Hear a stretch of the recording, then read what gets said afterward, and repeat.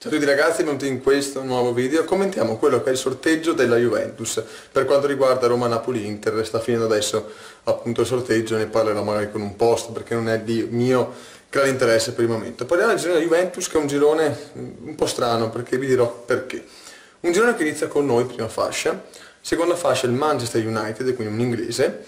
in terza fascia troviamo il Valencia, una spagnola e infine una svizzera in quarta fascia che è lo Young Boys. Intanto vado a farvi notare quella che è la comunanza di nomi, cioè Juventus vuol dire gioventù sostanzialmente e Young Boy vuol dire ragazzi giovani, quindi sarà uno scontro tra giovani, sperando che poi la gioventù vinca sui ragazzi giovani. Al di là di quello, mm, un girone che mm, ci è andata bene sostanzialmente per il tipo di scelte, cioè degli inglesi dovevi evitare una, il Liverpool, e alla fine ne evitate, preso lo United che ok, grandissima squadra per la storia che ha, però non mi convince mai troppo eh, lo United né in campo europeo né in campo nazionale soprattutto eh, con Mourinho che è un allenatore che eh, sa, fa, sa, il fatto suo ma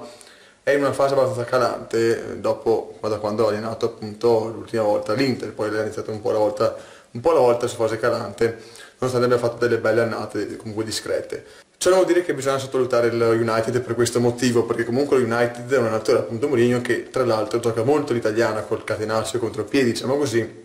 cosa che può far male perché talvolta squadre molto simili per eh, filosofia di gioco, no? Eh, diciamo che Mourinho è un difensivista, cosa che Allegri non è, un po' diversa la cosa, resta il fatto che comunque sono squadre simili per questo motivo qua e quindi potrebbero essere partite molto difficili, ricorda molto quella partita qualche anno fa nel girone contro l'Atletico di Madrid e appunto per questo motivo qua. Squadre simili talvolta trovano più difficoltà che tra squadre diverse. Quindi questo è un modo per dire che non bisogna in nessun modo sottovalutare lo United solo per antipatie verso Mourinho piuttosto che Mourinho ne più di una volta o quello che è.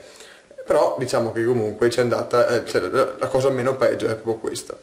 Il Valencia è una squadra, una buona squadra, ha fatto un buon campionato lo scorso anno, però chiaramente gli spagnoli dopo che mm, eh, ha dato battaglia a Barcellona e a Madrid il Valencia dovrebbe essere abbordabile resta tutto nella testa l'impegno dei giocatori che ci mettono e nella lucidità di, di quello che avranno davanti, di, di come gestire e giocare il pallone. E infine Young Boys che è un po' la squadra che automaticamente, automaticamente poi il calcio, finché la pallettona tutto può succedere, ma il Young Boys è la squadra che poi come inizia la quarta finirà probabilmente anche la quarta, sembra che non vada ad ostacolare qualche squadra tipo il Valencia e quindi eh, accedere all'Europa League. Però sono discorsi che porteremo più avanti. Io credo che Juventus debba sfruttare quella che non è tanto il, questione di fortuna a caso, è di merito, il merito di aver vinto un campionato, di essere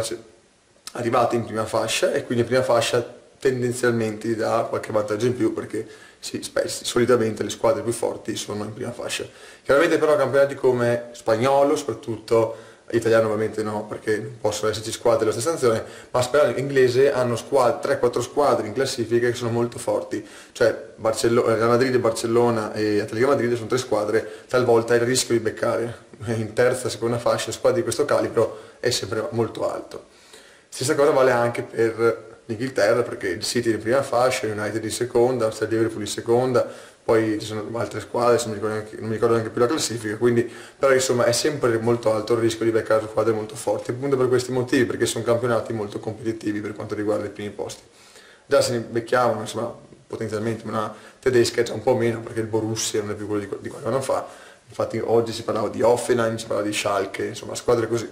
E da questo alla fine ci va anche bene, ma ovviamente mai cala l'attenzione perché talvolta quando il gioco si fa facile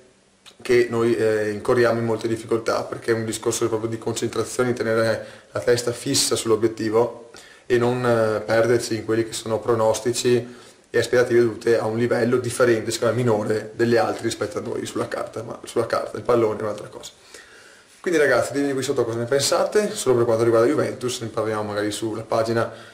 per Napoli Roma Inter, forza Juve come sempre e che vinca il migliore, sperando che, che il migliore sia, siamo noi.